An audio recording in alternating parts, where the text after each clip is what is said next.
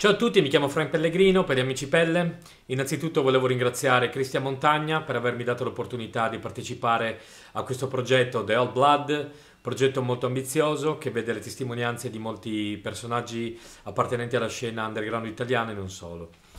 E, um, mi è stato chiesto un po' di raccontare quali siano state le motivazioni che mi hanno portato a far parte di questo mondo, a suonare, eccetera. Sono classe 1981, eh, sono nato e cresciuto a San Vito a Tagliamento, una ridente cittadina in provincia di Pordenone in Friuli e sin dalla giovane età insomma, ho avuto un buon rapporto con la musica. A otto anni iniziai a studiare pianoforte per poi lasciarlo un paio d'anni dopo. Però diciamo il mio primo, il mio ver- vero, viaggio, il mio vero viaggio musicale inizia um, esattamente nel 1993 Ero in seconda media e alcuni amici mi passarono le prime, le prime cassette, quindi ebbi i primi ascolti. Ricordo Kill Em All Metallica, Nevermind di Nirvana, eh, Nevermind the Bollocks dei Sex Pistols, eh, eccetera. Insomma, erano i, i, primi ascolti, erano le cose più, più mainstream che, che insomma, circolavano in quel periodo.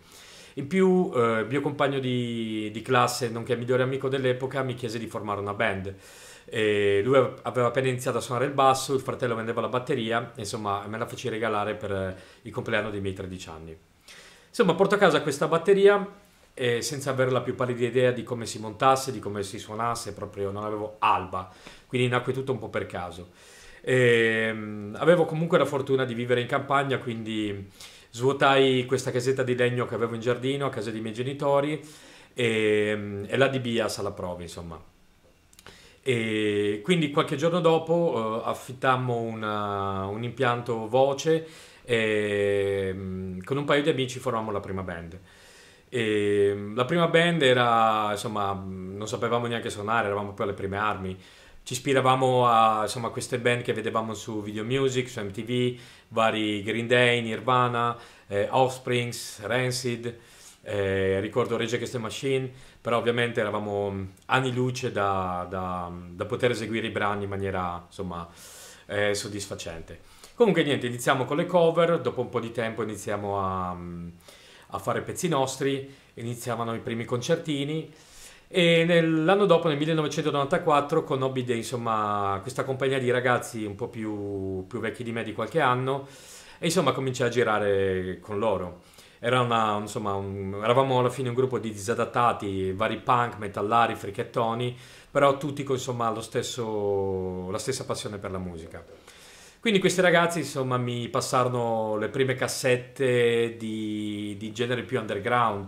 Ricordo queste compilation con vari uh, Misfits, uh, um, Bad Religion, um, eh, Agnostic Front, uh, Pantera, Sepultura, Napalm Death insomma c'era un, mescolone di, di, di, vari generi, dal punk eh, più becero al punk un po' più mainstream, al metal estremo, al metal più, insomma, più, mm, più in voga, eccetera, eccetera. E insomma, quindi le mie influenze in quegli anni erano abbastanza articolate, non, non, non posso dire che ascoltassi solo metal o solo punk, ascoltavo un po', un po tutto ciò che era um, estremo, underground, quindi la sala prove eh, che avevo allestito diventò un po' il, il punto di riferimento del, insomma, della compagnia dell'epoca. Eh, formammo diverse band con questi ragazzi, alcune eh, durarono qualche giorno, alcune qualche mese e altre addirittura qualche anno. Con un paio di band abbiamo anche registrato insomma, dei dischi. E, ehm, da lì in poi cominciamo a fare, cominciamo a fare concertini nella cittadina, appunto a San Vito a Tagliamento, organizzati dalla Proloco, dal comune, e poi cominciamo insomma verso fine 94-95 a spostarci anche a Pordenone. Io ero molto giovane all'epoca, per me Pordenone era, insomma, era la città, nonostante fosse comunque, guardandolo, guardandolo adesso con senno di poi, era un, un paesotto. Eh, una cittadina con a malapena 80.000 abitanti, però comunque con una storia eh, musicale molto importante. Innanzitutto volevo citare Pordenone eh, perché sin dalla fine degli anni 70 è stata una delle città più importanti per quanto riguarda il movimento punk in Italia, ma anche in Europa. Eh, in quegli anni ci furono molte band appunto del movimento punk, new wave, industrial, che diedero vita a questa scena chiamata The Great Complotto Per citare alcune di queste band, le più importanti, le, insomma le più famose, uh, ricordo i Hitler SS, i Tampax, Ice in the Ice. Appunto, alcune di queste band si esibirono durante gli anni Ottanta anche in Inghilterra e altre città europee. Eh, fu una scena molto importante che alla fine scemò alla fine degli anni Ottanta, ma, ma, molti di questi personaggi insomma, contribuirono negli anni a venire, nel, negli anni 90, a, a mantenere viva diciamo, la scena underground pordenonese, eh, formando altre band, eh, organizzando festival, concerti, aprendo negozi di dischi e via dicendo. Um, la mia esperienza col diciamo, il panorama musicale pordenonese nasce alla fine del 1995, quando con la mia compagnia insomma, cominciamo a frequentare eh, Pordenone.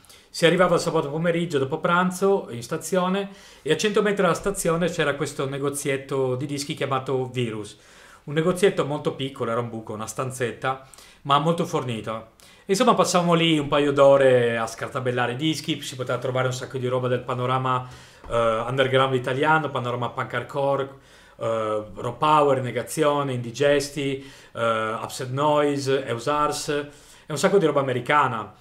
Uh, si poteva trovare roba dei, dagli Adjusting Front ai Ramones, ai Suicidal Tendencies, Murphy's Law, Chromex, Black Flag, e insomma via dicendo. Avevano un sacco di merchandise, magliette Insomma, era un po' il meeting point del primo pomeriggio.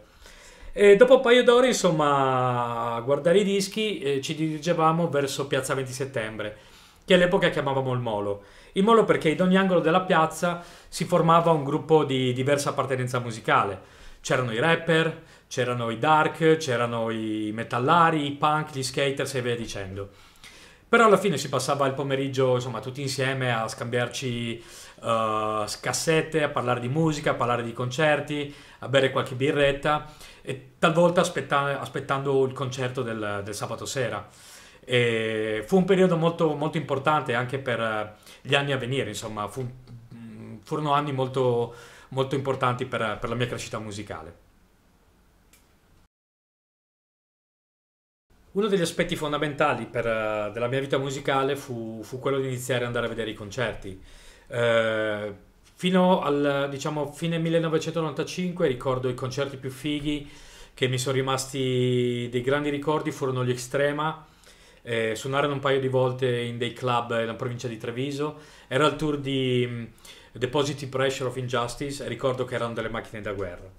Però arriva il 1996 e esattamente il 20 gennaio andai a vedere i Ramones al Palazzetto dello Sport.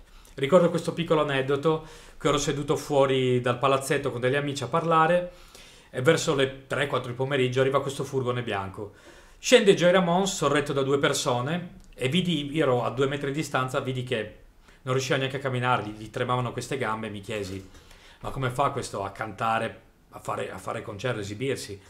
E niente, arriva l'ora del concerto e... Mm, Niente, fecero più di due ore di concerto. One, two, three, four, one, two, three, four, una, un pezzo dietro l'altra. Boh, probabilmente si era preso qualcosa di veramente potente, ma fu un concerto che mi cambiò la, vo- che mi cambiò la vita. Fu un game changer per me, insomma, un, come si suol dire.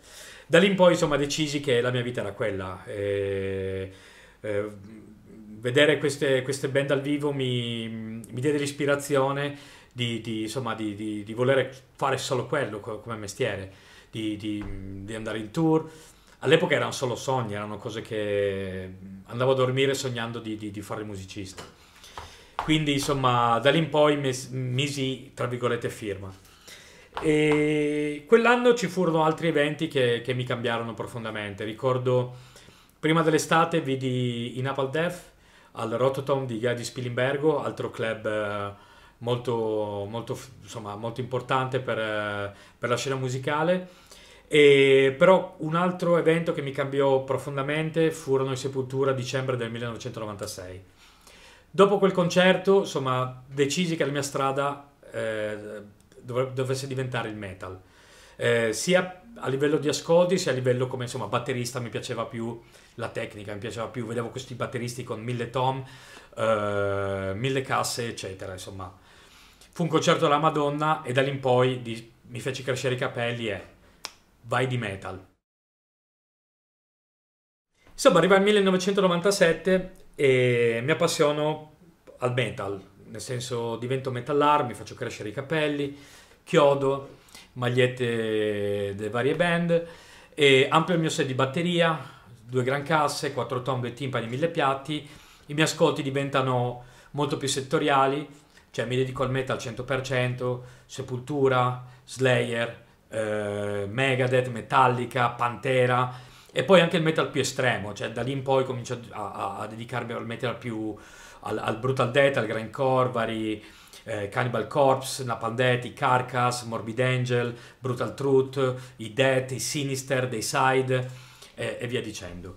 E ovviamente eh, voglio formare una band metal, voglio suonare metal, anche perché il metal era molto più ehm, interessante per, un batterista, insomma, suonare metal piuttosto che, che suonare punk, era molto più ehm, stimolante.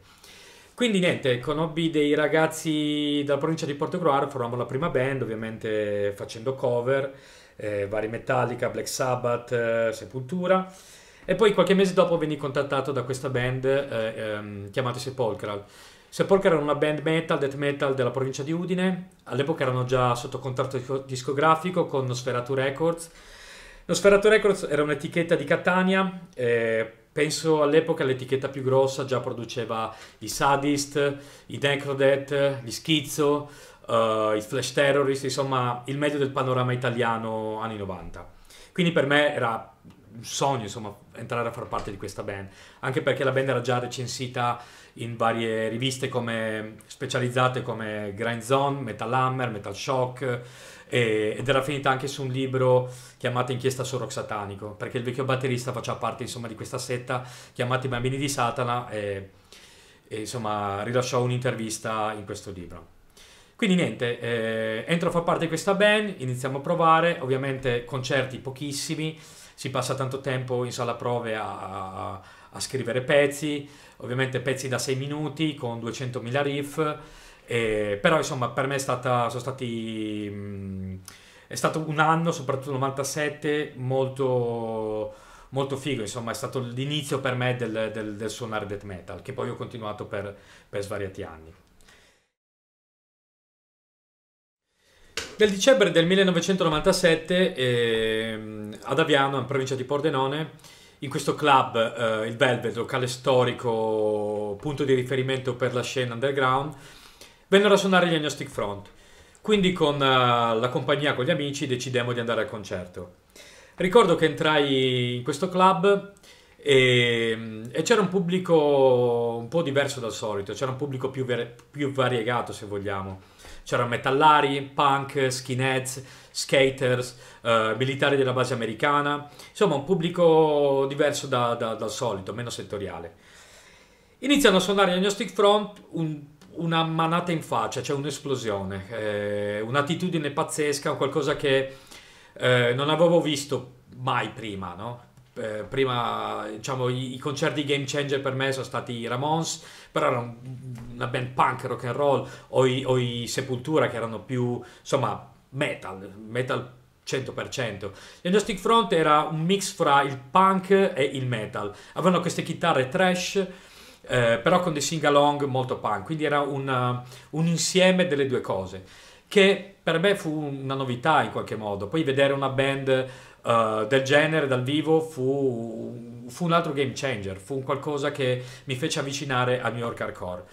Ricordo comunque tornai a casa pieno di botte, con un in testa gigante, insomma, però dentro di me cambiò qualcosa. Eh, fu una band che mi, mi fece avvicinare di più a, a, a quel genere musicale. Ricordo poi appunto il 98, eh, tagliai i capelli, eh, fu l'anno di, di transizione dal, dal, metal all'hardcore, eh, ma anche per, per una serie di, di, circostanze, insomma, io crescevo e, e, e anche l'interesse verso i testi. Uh, queste band hardcore uh, comunque avevano dei testi sociali, politici, mentre le band che, avevo, che ascoltavo, che mi ero legato insomma prima, come appunto tutte queste band metal, avevano testi più um, magari passavano dal satanismo agli squartamenti, insomma qualcosa che cominciai a perdere interesse in qualche modo. Eh, Quindi insomma dal 98 in poi eh, cambiai insomma look e mi dedicai più a, all'hardcore. Quindi dal 98 eh, iniziai prevalentemente a seguire la scena hardcore. Nonostante continuassi a suonare con i Sepulchral, a suonare death metal, perché comunque per me suonare quel genere era, era appagante, soprattutto a livello tecnico. Il metal la considero ancora insomma la, la, mia, scuola, la mia scuola di musica. Ovviamente volevo suonare hardcore, eh, quindi con questi ragazzi del, della mia città, insomma del, di San Vito Tagliamento, con cui iniziai a suonare sin da subito, i Daltonic Outcry, che all'epoca insomma era, un, era una band con diverse influenze musicali, dal punk hardcore al punk melodico, allo ska punk, decidemmo di dare un'impronta più, più New York hardcore. Quindi eh, ci chiudiamo in sala prove a scrivere pezzi di quel genere. Quell'anno fu un anno molto importante, vidi un sacco di concerti, insomma, fra Velvet e Rototom. Ehm, ci furono un sacco di band da oltreoceano, ricordo che vidi Toll, Biohazard, Madball, Murphy's Law, eh, ma anche band europee come Barcode e, e Backfire. In quell'anno quindi inizio anche a frequentare il liceo a Pordenone. Eh, comincio a fare nuove amicizie, soprattutto con i ragazzi della scena punk hardcore pordenonese e che mi cominciano a passare insomma cassette, cd e inizio a espandere ulteriormente eh, le mie conoscenze musicali, anche perché all'epoca no, appunto non essendoci social come Spotify, YouTube e probabilmente non si poteva neanche scaricare musica, internet era ancora eh, agli albori. Quindi ehm, inizio ad ascoltare oltre alle band che ho citato prima del New York Hardcore Uh, band più old school come Youth of Today, Gorilla Biscuits, gli Shelter, gli Slapshot, um, uh, No for an Answer, c'è No Strength, ho anche band con influenze più metal come Air Crisis e Strife. E in più quell'anno cominciò a frequentare anche i centri sociali, anche perché erano gli unici posti che ospitavano concerti di, di quel tipo di, di musica. Eh, entro a far parte di questo collettivo anarchico, il Gata Negra, eh, dove si organizzava appunto serate, concerti e si comincia ad andare a manifestazioni. Quindi comincio ad avere anche una coscienza più politica, eh, comincio a, mm, a, vedere la musica anche sotto un diverso aspetto, non una cosa puramente estetica o puramente musicale, ma dargli anche un contesto più sociale e politico. Quindi dalla fine degli anni 90 iniziai a frequentare in maniera più assidua i centri sociali, anche perché a parte qualche club erano gli unici posti che organizzavano concerti di musica underground. Quindi iniziai anche a uscire dalla, dalla provincia, andare a Treviso, a Padova, a Mestre, a Udine. Eh, iniziai quindi a, a, conoscere personaggi e band al di fuori della città di Pordenone, a stringere legami con, con, con altre band appunto noi invitavamo band a Pordenone e loro ci invitavano eh, appunto in altre città del nord-est. Si creò quindi questo legame fra, fra, fra la scena, fra band che comunque anche di diverso genere, dal, dall'hardcore più estremo al, al crust punk, uh, all'oi, skinhead, uh, al post-hardcore, insomma ricordo queste band da, soprattutto da Mestre, Giuzzaru, uh, l'amico di Bartucci, Raptus da Marghera eh, The Secret da Trieste, i Cimex, i Senza Sicura da Treviso, insomma la scena era parecchio attiva. E I centri sociali furono molto importanti per quanto riguarda anche l'aggregazione, l'autoproduzione. Eh, questi posti avevano spazi per provare, per stampare merchandise, eh, fanzine, insomma ci si ritrovava a, a, fare festa, a parlare di politica, ehm, a scambiarci materiale insomma musicale, dischi, cassette, eh, magliette eh, e via dicendo.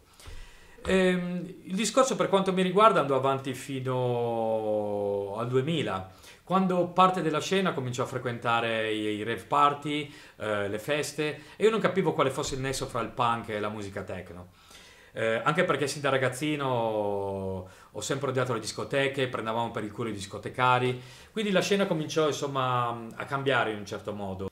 Pordenone quindi cominciò a diventarmi un po' stretta e decisi che era il momento di, di lasciare la città, eh, di cercare un posto dove la scena musicale fosse ancora attiva.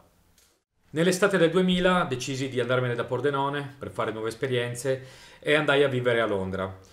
E ovviamente fu un'esperienza incredibile, soprattutto per me, insomma, che vengo da una um, realtà di provincia. ritrovarmi in una metropoli fu, fu incredibile. E fin da subito iniziai a frequentare i concerti, eh, c'erano un sacco di locali. Eh, quello che ricordo di più ovviamente era l'Underworld. Eh, ricordo questo aneddoto che andai a vedere gli Archangel, eh, il Length of Time, e fu la prima volta che vidi questo pubblico fare violent dance. Se prima insomma, i concerti hardcore erano eh, insomma, pogo, stage diving, c'era questa attitudine più punk Lì c'era un'attitudine completamente diversa, c'erano questi ragazzi che roteavano come trottoli, si prendevano a calci e pugni in faccia. Ovviamente la cosa non è che mi, mi esaltasse, però fu un qualcosa che insomma cambiò un po' il mio punto di vista, anche perché queste band di hardcore avevano ben poco, era un, questa nuova scena eh, diciamo chiamavano hardcore ma aveva un sacco di mosh party eh, super beat down lente e, insomma era un nuovo tipo di hardcore. Veniva dal Belgio dall'Inghilterra e dall'Olanda. E comunque passo un paio di stagioni a Londra a lavorare nel 2001 ritorno in Italia e oltre ai soliti concerti in zona comincio anche a frequentare la scena skinhead eh, ricordo inizio ad andare ai concerti dei Nabat, Classe Criminale, eh, i Duap, eh, i Corona Infame da Roma, i Razza Parte e, e, stringo amicizia con questa band di Torino, eh, di Scontro. Divento amico del cantante che... Mh, eh, nel 2002, durante una festa nei Paesi Baschi, eh, mi chiese di entrare a far parte della band. Io ci pensai un attimo e dissi: Ma perché no? E così eh, nell'autunno del 2002 mi trasferì a Torino. Insomma, nel 2002 mi trasferisco mm, a Torino, eh, città incredibile, in pieno fermento musicale, un sacco di band, un sacco di concerti, insomma era un po' quello che stavo cercando, volevo far parte di, di una scena musicale, soprattutto hardcore. E Torino vantava comunque una storia importante per quanto riguarda l'hardcore, eh, è stata città natale di Negazione, Nell'Orgasmo, eh, Blue Vomit, Declino, insomma, e tante altre band. E anche lì i concerti venivano organizzati fondamentalmente nei, nei posti occupati, eh, in primis il Pasgo, eh, il Delta House, la Scatasuna, eh, l'Alcova, Rosalia, eh, l'asilo occupato, ma insomma di realtà ce n'erano eh, parecchie. E, ehm, insomma, entrai da subito a far parte appunto della scena musicale torinese, eh, iniziai da subito a suonare con gli Scontro, iniziamo a fare un sacco di date in giro per l'Italia, gli Scontro era una band eh, oi, oi con influenze eh, punk hardcore, però legate comunque a movimento politico come la Sharp, la Rush. Eh, nel 2003 eh, registrammo il primo disco, eh, America Assassina, prodotto da Amphibio Records, e nello stesso anno entrai anche a far parte di un'altra band, di Stanley Strong alla chitarra, che era una band appunto um, oi hardcore, e, e, sempre a fine 2003 eh, mi chiesero di entrare a far parte de, dei Wop Time. I Wop Time era una band puramente in stile New York hardcore, eh, quindi era, era, un genere che mi calzava a pennello, insomma, eh, ero contentissimo di entrare a far parte di questa band. Ehm, quindi con loro registrai eh, subito dopo eh, Mi Vida Loca nello studio di Danny Giordana, storico fonico eh, di un sacco di band americane come i Biohazard, eh, Monster Mania, Hatebreed. E, ehm, e iniziamo anche con loro a fare un sacco di, di, di live in giro per l'Italia. Nel 2004 organizzammo il primo tour europeo. E, insomma, erano un sacco di date, due settimane in giro per l'Europa tra Germania, Polonia, Austria, Svizzera, Repubblica Ceca, Ungheria, eh, insieme a questa band eh, The Vendetta, eh, che era una band punk rock and roll di Piacenza. Ricordo insomma che il nostro driver fu mm, Giulio, cantante di Cripple Bastards. Comunque, tour della Madonna, eh, la mia prima vera esperienza di, di un tour lungo. Insomma, torniamo a casa con un bagaglio davvero importante. Per farla in breve, insomma, la mia esperienza musicale torinese, eh, far parte del, del, Torino Hardcore fu un'esperienza incredibile. Eh, degli anni a seguire, insomma, eh, feci parte di altri progetti come Tori Rotten Squad, eh, Nihil Radio, eh, insomma erano progetti nati per divertirsi con, con, personaggi di varie band come Arturo, eh, Medusa, eh, Ellen Ripley, eh, Nino Info, insomma Eh, poi formai band come i Concrete Block dalle ceneri dei, dei Warp Time e. Uh, registrai diversi dischi, anche un altro disco con gli scontro. Uh, presi parte a, a, organizzare comunque concerti. Uh, um, nei, vari, nei vari posti occupati, ma anche nacquero anche locali come lo United Club dove tutta la scena era attiva nel, nell'organizzare eh, insomma, eventi. E, e, niente, ho ricordi, fu, fu, uno dei periodi più belli insomma, della, della mia vita a Torino. E, insomma, ringrazio tutti i ragazzi che hanno, che hanno suonato con me, che hanno contribuito insomma, alla mia crescita musicale. E, insomma, Torino comunque quegli anni eh, fu fu un esempio di, di, di scena musicale comunque compatta, eh, al di là del genere musicale, perché Torino Hardcore non era solo hardcore o punk, ma prendeva dentro eh, anche un sacco di band che potessero suonare eh, rock and roll, eh, punk rock, metal, insomma era più che altro un marchio, era, era il nostro marchio di fabbrica, insomma. Eh, la mia avventura torinese comunque finisce eh, nel 2012, quando anche per motivi personali decido eh, di tornare a Pordenone. Nel frattempo comunque mi ero appassionato al, um, al videomaking, eh, iniziai comunque verso appunto il 2008-2009 a, um, a, a, fare video per le band, a studiare videomaking, iniziai con la macchinetta fotografica per poi comprare insomma una reflex e, um, e appunto anche quell'anno iniziai a suonare con questa band, Embrace Instruction, che era con dei ragazzi di Milano, un ragazzo di Caserta, eh, Domenico, mio caro amico, cantante dei Facial Enemy. E, appunto con questa band iniziamo a andare in giro in tour per l'Europa, eh, quindi cominciai anche a conoscere il panorama un po' diverso, eh, cominciai a conoscere altri, altri personaggi della scena hardcore. Eh, soprattutto eh, in Olanda, in Belgio, eh, in Germania e in Inghilterra. Fu una band che mi diede molta spinta eh, mi fece conoscere qualcosa di diverso rispetto al, a quello che ave, avevo vissuto prima a Torino.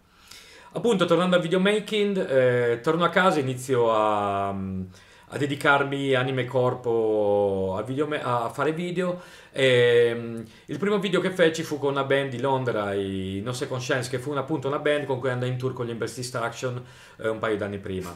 Faccio, faccio, la, faccio video a questa band e, mm, e, un anno dopo venni contattato da, da questa band, i Booze Glory. Da lì mi si apre un altro mondo. Quindi finisce il capitolo torinese, eh, 2012 torno a vivere a Pordenone, lascio tutte, tutti i miei progetti che avevo appunto lì e mi dedico a fare videomaker. E, appunto, come dicevo prima, mi contatta questa band, Booze Glory da Londra, che era una band eh, puramente oi melodico, street punk, Faccio questo video allo Skinhead Crew e in poco tempo, insomma, questo, questa canzone eh, diventa super virale, questo video ha un sacco di views, arriva a, a qualche milione e quindi cominciarono a chiamarmi un sacco di altre band eh, del, del, del, giro, del, giro, street punk oi uh, europeo, dai Last Resort ai Root Pride uh, spagnoli, uh, ai Arch Rivals di um, Plymouth, eh, altre band del giro italiano, ma anche hardcore. Eh, e nel frattempo ovviamente eh, avevo anche voglia di suonare. Rimisi in piedi Sepulchral, registrammo una, uno split, uh, rimisi in piedi Daltonic Outcry, registrammo questo disco Back in My Town dopo insomma un sacco di anni, disco puramente hardcore. Eh, misi in piedi un altro progetto rock and roll, Anti-Abusers, anche lì registrammo un disco.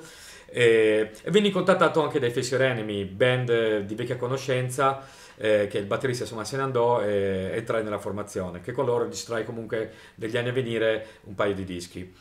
E, Insomma, mi, mi, rimisi in gioco a Pordenone e nel 2015 appunto il cantante dei Busen Glory mi chiamò e mi chiese di entrare nella formazione. Comunque era una band che già iniziava a suonare in festival grossi europei, with Full Force, a Rebellion in Inghilterra. Quindi insomma io avevo voglia di suonare, avevo voglia di suonare dal vivo e, avevo voglia di suonare davanti in situazioni comunque grosse. E comunque accettai. E, ehm, quindi da 2015, eh, 2016 feci il primo concerto con loro, eh, appunto a Berlino, all'Astra, al Punk and Disorderly E da lì in poi, insomma, dedicai, a parte i Face Your Enemy, che facciamo qualche altro tour in Spagna, dedicai gran parte del tempo ai Booze and Glory. Arriva il 2016 e inizia un altro capitolo della mia vita. Appunto, dopo il concerto a Berlino, entro in formazione ufficiale e decidemmo insomma di, di chiuderci in sala prove per scrivere il nuovo album. Così a fine, a fine anno eh, andiamo in studio al Perivale a Londra e mh, mm, registriamo Chapter 4. Arriva il 2017, insomma, mm, organizziamo un centinaio di date eh, in giro per il mondo, proviamo, insomma, proviamo a, a diventare una band full time, eh, lasciamo il lavoro e, mm, e, niente, iniziamo a andare in giro per l'Europa, poi Stati Uniti, eh, iniziano i festival estivi e lì fu per me il primo... Comunque tutte le esperienze sono state grandiose, però i palchi grossi iniziano appunto dal da quella, um, quell'estate lì, 2017, quando inizio a suonare all'Hellfest, eh, With Full Force, Rebellion, eh, comunque tutti i festival da migliaia e migliaia e migliaia di persone ma soprattutto condividere il palco con uh, artisti come Slayer, uh, Aerosmith, uh, Linkin Park, Rancid, Suicidal Tendencies, Damned, potrei fare una lista infinita, insomma, sono band con cui avrei mai immaginato di, di condividere il palco. E ehm, niente, sempre a fine anno decidiamo di. Comunque organizziamo anche un tour in Giappone. Eh, ci chiamano a suonare anche in Sud America insieme ai Dropkick Murphys. Insomma, eh, a fine anno andiamo anche in tour con i Brawlers, che è una band eh, conosciutissima qua in Germania, e facciamo anche lì, insomma, concertoni alle arene dove suonarono uh, Sting, uh, i Rolling Stones, insomma, esperienze incredibili che mai mi, mi sarei immaginato. 2018 uguale, eh, organizziamo sempre più di un centinaio di date eh, in giro per il mondo, facciamo sempre Europa, eh, Stati Uniti, eh, altri festival incredibili, ehm, tra i più importanti, se no il più importante, il Poland Rock in Polonia, eh, uno dei forse il festival eh, outdoor più grosso che c'è appunto in Europa, forse nel mondo, più di mezzo milione di persone, suoniamo nel main stage, eh, quella giornata lì c'erano band del calibro di Arch Enemy, uh, Judas Priest, insomma non si riusciva a vedere la fine del, del pubblico. Eravamo in diretta TV nazionale, insomma un'altra esperienza incredibile. Non riuscivo neanche a vedere i componenti della mia band, erano a 50-100 metri, un palco enorme. Ehm, poi 2018 anche lì decidemmo di, di, fare un tour in Australia, Indonesia, ehm, insomma il nostro obiettivo era quello di, di, farci conoscere girando il più possibile, girando il mondo, andando anche in posti remoti dove eh, solitamente le band non vanno.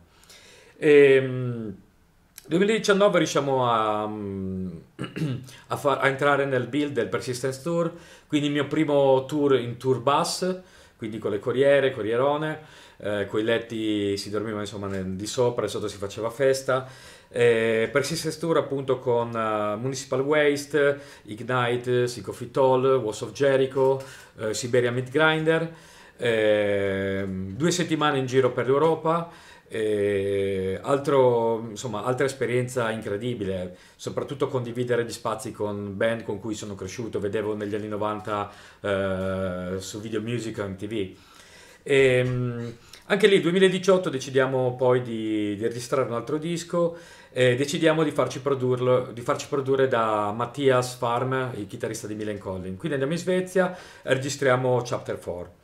E, um, registriamo il disco e, um, e comunque e poi ah, ah sì, un'altra altra super esperienza fu nel marzo sempre 2019 eh, il St. Patrick Tour con i Dropkick Murphys, quindi eravamo il main support di tutto il tour de, ehm, in giro per l'America, quindi quasi 30 date eh, dal, da, da, Boston eh, a Boston praticamente, abbiamo fatto il giro di tutta l'America, dal, dal nord alla Florida, al sud, al Midwest, insomma altra esperienza incredibile, soprattutto perché eh, ho avuto la fortuna di suonare in club storici come ricordo uh, il McCain, un, um, questo club uh, che era forse il più brutto rispetto a, al resto del, del, tour, ma storico dove suonò Johnny Cash, i Sex Pistols, uh, a Tulsa, in, um, Tulsa non ricordo lo stato, forse... beh, comunque... E, mm, e niente, eh, al 2019 è altro, altro super anno.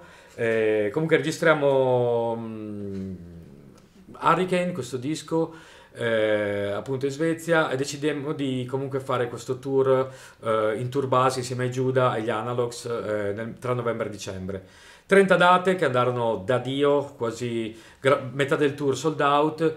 E poi niente, continuiamo, insomma, la band era ben avviata e, e nel 2020 organizzammo altre, un sacco di altre date, ovviamente arrivò il, il- ovviamente, no ovviamente, ma arrivò il, il Covid. Il Covid, insomma, ha distrutto più o meno ehm, gran parte di quello che è il- il- insomma, l'industria musicale, i concerti, ma anche la, la- la socialità, insomma, molte cose sono cambiate, insomma, da- dal, dal Covid. Insomma, lo chiamiamo anche l'era pre-Covid e post-Covid, insomma, un po' come eh, avanti Cristo e dopo Cristo. E, mm, comunque, vabbè, eh, nel 2021 ci rimettiamo in piedi, cominciamo un tour in Inghilterra, eh, siamo ritornati quest'anno negli Stati Uniti, insomma, le cose pian piano stanno riprendendo piede. E, mm, e niente, questa è un po' la mia, la mia storia, il mio percorso che ho avuto negli anni.